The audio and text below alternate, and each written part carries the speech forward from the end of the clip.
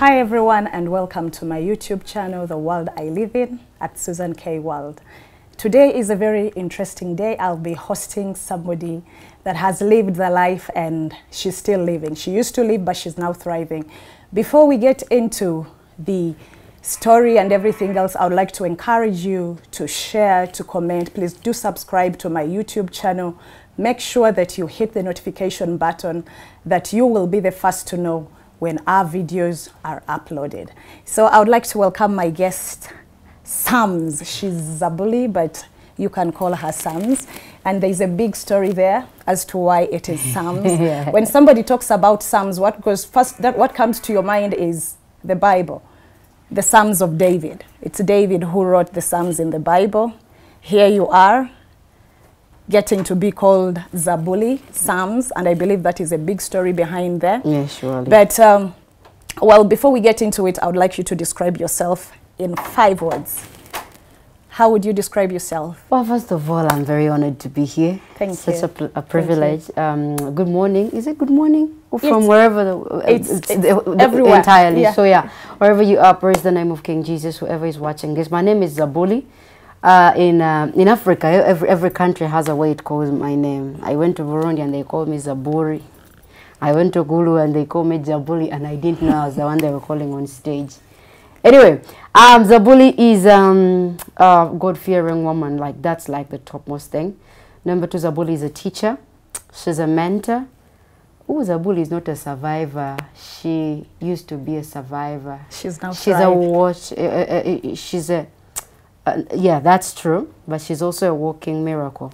That's okay, okay. Yes, you uh, are a walking miracle. Yes, yes. You are a walking miracle. Sometimes you don't need to tell the story. People just need to see you, and they're like, "Oh, we saw her." you saw the story. But now we see her. We see her now. Exactly. So her. yeah, Zabuli is a daughter uh, uh, uh, in a family of five Okay. of a very beautiful Christian Sabine mama. Okay, that is interesting. Mama, hi. Zabul is right here, Yeah, and she's sure. uh, she's uh, she's very proud of you. Oh, very much. Mama, she's always talking good things Ooh, about hallelujah. you. I am glad to know that she has a mom like you. It's always good when we children talk well about our parents. It is the pride. And it's quite interesting that uh, when we are growing up in most cases Yeah. especially when we are teenagers we are so rebellious we come to fight with our mother especially our mothers you fight with your The mom girls, she hates ooh, you she's yeah. your number one enemy You want to leave home. Exactly exactly but as time as time goes on you realize she that becomes your best friend. she's your actually. best she's the friend. Mm. one person in your corner, twenty four seven, from the day then up to the day now. Exactly. She's the best thing that ever happened That's to very you. true. And I know your stories. Zabuli is somebody who has lived the life. I believe she has lived from, you can see from, it, she has gone through a lot, and which she will share with us later. She has seen, she has been, you know, when the scripture says that I have picked you from the ends of Oh, the earth. oh. I've picked you from the ends of the earth. Yeah. I've heard her story, and I believe you'll hear it more. She has gone through a lot in her life, and I believe you can relate with what has gone in with her, on, what has gone on in her life, and it will transform you. Amen. I remember one of the key things that um, you shared with me was um, about um, your upbringing. Yeah. I want you to briefly, briefly, very, very briefly talk about your childhood. Um, uh, number one, I was number three in, in, in among five children. I, I don't know whether it's true for other kids, but we are the most attention-seeking, deficient kids around town. The middle guys. The so-called middle middle children. Yes. You have uh, because mom is no longer so much excited about kids, and she's not also not excited about the fact that you're crazy enough to be. You know? but but my, mine, I think, did try her level best. Mm-hmm. Uh, but I think I grew up with a missing thing. And I, I, it's actually not until I was talking to you for the first time I actually put a name to it. It didn't have a name. that miss that void, It, it a void. I didn't even realize how deep it had gone Mm-hmm. until the day I was sharing with you because that's when I'm like, oh, a normal child doesn't do that. Mm-hmm. A normal child doesn't wake up and they just want to cause chaos everywhere they are. Mm-hmm. If they are not usually normal, they end up being psychopaths. Exactly. But for a mother like mine who prays, I can't, I can't be a, a psycho, man. I And- just can't. And that's quite interesting because at that point, a parent does is confused. She doesn't Oh, she- know what I- to do. I'm- she I'm has sure prayed. she was overwhelmed. She has prayed. She has served God, Oh, and she still cried. her she child cried. is still going on She cried. The clan is- sat. There was a mm. place in my life where the clan sat, and they're like, you know what? We are done.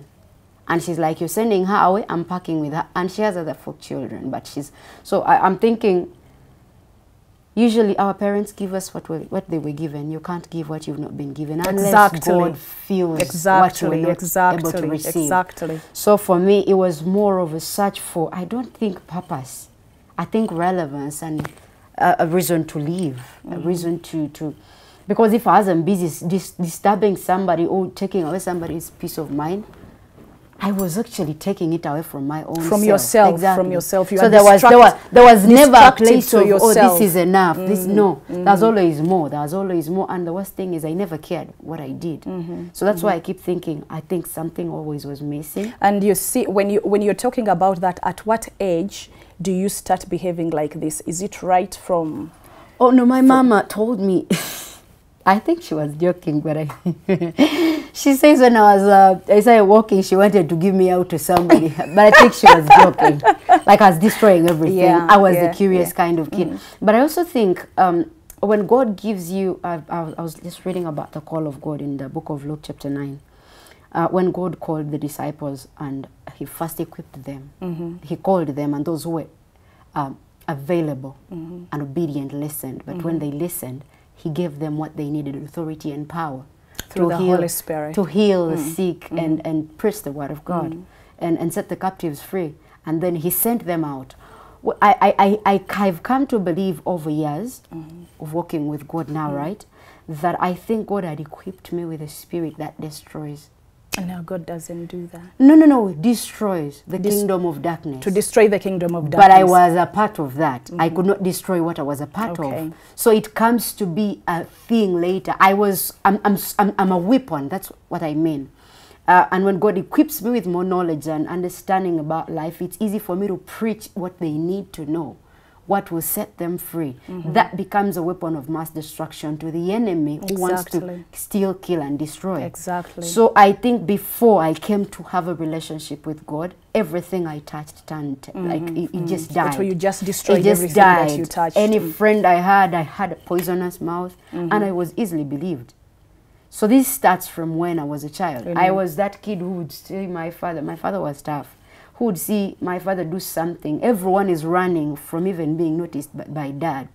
And I'm saying, you know what, that was wrong. And I know they're going to beat the life out of me, but I'm going to say it.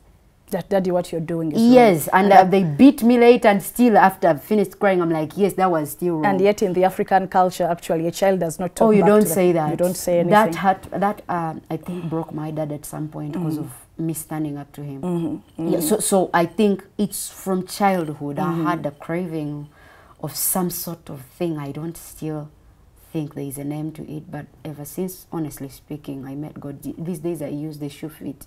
The shoe fit, like I found a place where I can be told, you know what, that's wrong.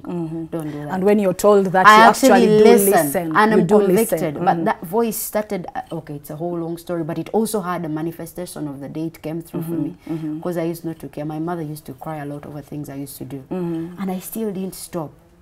Uh, the, the people sat. I still, and she did everything right as a mother. Mm-hmm. She sacrificed everything. I have a big sister who always reminded us, "Mama has given up everything for us." For be us happy." to- But I mhm. didn't care. I didn't see it. It's because you were searching for something. And I was blind to anything Mm, remorseful in life, anything compassionate in life. I just was dead to that. okay. Yeah, but it started from when I was a child. And there was that deep longing, deep searching. And yet, do you think if you had someone to guide you at that time, you, you could not, you may not have turned out to be as destructive as you did? And I think my mother was there to do that. I mm. was just not on the receiving end of it. Okay. I don't think I was even any place near.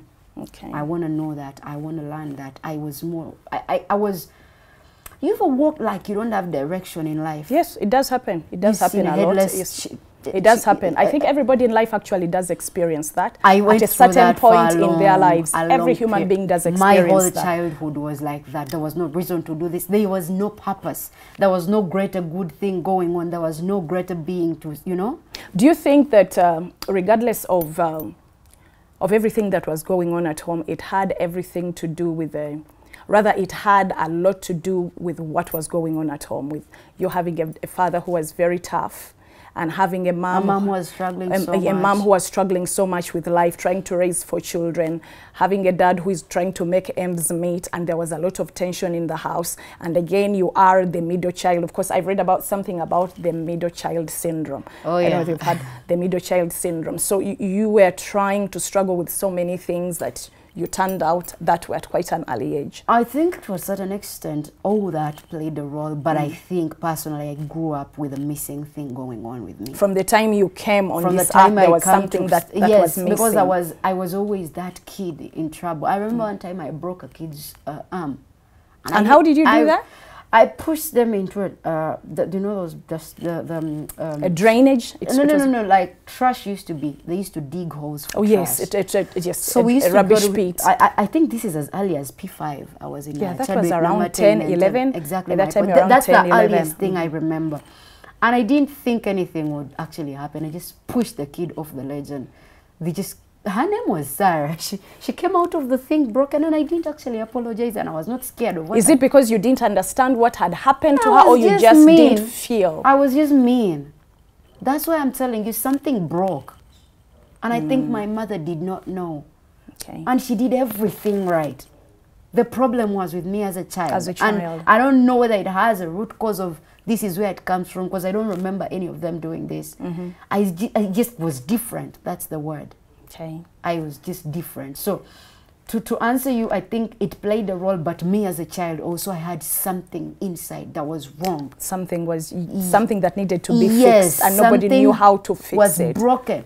And because no one was there to break it, nobody thought oh, or thinks a child can be given birth to when they have some. Oh, deficiency or happens. something broken It happens. already within them. It happens. Okay. And and and it's I, I, some people would think it's it's um a, a, a curse or something but no, it's just that such children need extra understanding. Extra attention. You need extra and, and, and then it's worse when you actually pay attention to them and they don't even know how to receive it. to, yes, exactly. So it's one thing to actually do your thing right as a child mother, and the child doesn't know how to receive it. Yeah, you know, actually, when you say that, I remember in one of the series that we did on on parenting. Yeah. By the way, go remember to look for that uh, series on parenting. It's very powerful. It teaches us how to be very good parents. Yeah. So check on my YouTube channel. You'll find that series.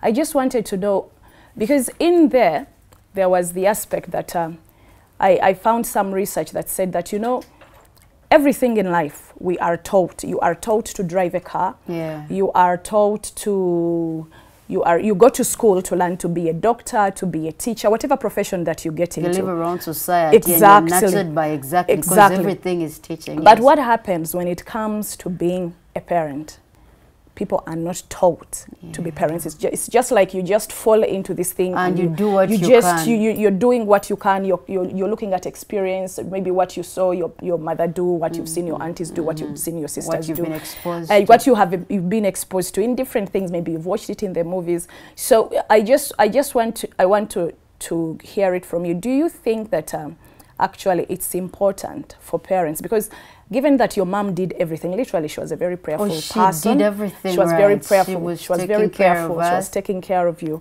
would you would you agree that parents need to actually be taught to be parents Um, I think we, it's very true. It's very important. Especially because we're in an African culture where most, now for example, my father came from a family where there were 50 kids plus. How do you expect one parent with no background of being a parent and Take they start of- from 1 to 50 to even have the time? I think it should be intentional. It's it's it's- Exactly. It's, It's it's, okay inten- to mm. add to what instinct teaches you, to what experience teaches you. I think it's also okay to sit in a class Being- where there is, a, of course, there is no template of a perfect uh, a parent. Uh, man, that's where the Bible comes in. exactly The Bible has all these classes. I, mean, I think people just need to start learning to live by the God code. By the word of God. Yes. The principles of That's God in very true different because things. th- there is no class you'll miss with God. Mm-hmm. Even when you're stuck and you ask for the guidance, because the Bible says the Spirit of God teaches His own everything. I feel like knowing the Spirit of God to that level Mm-hmm. gives you a chance. But also, if there is a class around that people because it also takes a parent and a half to actually start To, that to kind of business. as a, a parenting. You gotta have documentation of I'm a good parent because people are gonna enroll because of the example of the children you So have. of course, of course. But today, I believe, I believe sometimes it's just like everything is a gift. Yeah. There are certain things that come to us as gifts, but you polish them with research. And It's okay to teach, do it's- polish, it's okay polish them to- with yeah, research. Because I think some of the people who are parenting coaches are not even parents, but they have taken time to study To society, study, yes, study different yes. families, and decided that for those I who want I to be parents, this is. And you know, there is no one shoe fits all. No. Children are very different. That's That's, again where parents And have environments issues. they're raised into and principles so it's very, very, very, very. It's very difficult for all of you to be the same.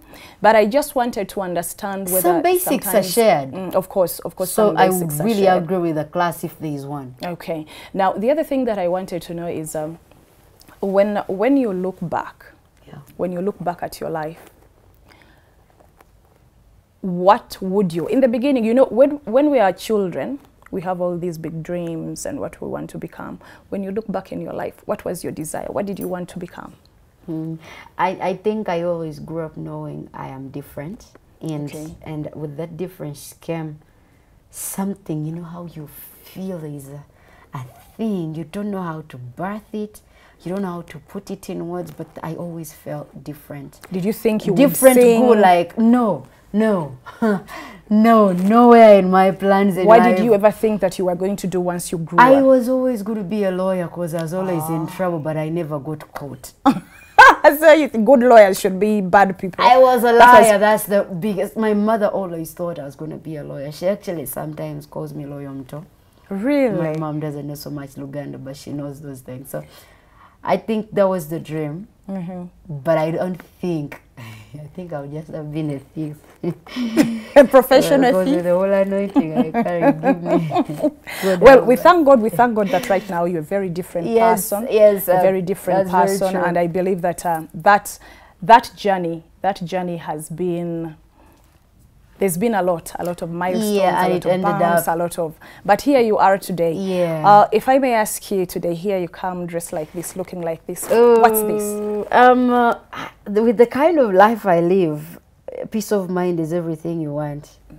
So I woke up and I'm like, I need something that I can walk around in and not feel like akasana kanjo cheza binyiga. You So just I just, I just rolled on this. I have a lot of these and uh, I think they are dope. It's just peaceful. okay. So for you, this represents This being- is me. I just love peace, lo- and love- uh, and I just have been going through a dark season of my life a few Okay. days ago, and okay. I just I just wanted to roll up here and I just feel free to be me. and you do feel that. Yes, do I feel am that right very now. much at Well, uh, well, it's good to have uh, Zabuli here on uh, on set with us, and uh, in our next session, watch out for our next video where we will be talking about drugs in schools, how drugs are real. Yeah. Share, comment, and do oh, invite somebody else. Do subscribe, Subscribe please. for sure. Subscribe to the world that I live in, the Susan K. world. See you in our next video.